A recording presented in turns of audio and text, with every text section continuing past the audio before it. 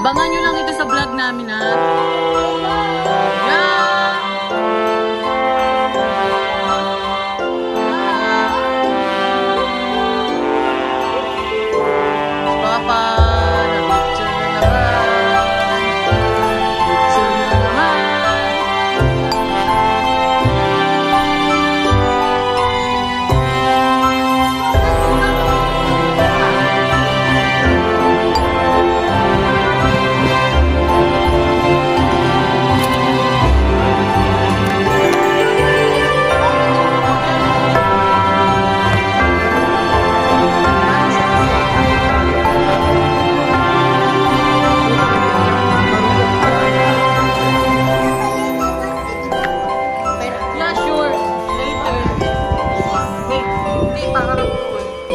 ไตมาได้